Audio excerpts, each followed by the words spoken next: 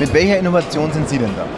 Wir sind mit zwei Innovationen, zwei Neuheiten äh, heute hier auf dieser Messe. Eine davon ist die Travel Mode Identification. Stellen Sie sich vor, Sie fahren als Tourist in eine Stadt, wollen die Stadt besichtigen und dabei öffentliche Verkehrsmittel verwenden.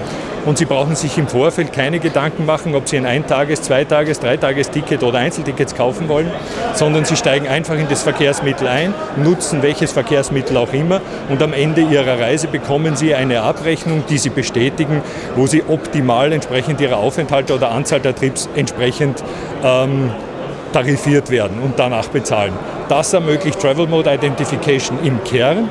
Und das kommt praktisch die große Abrechnung, die böse Abrechnung kommt am Schluss.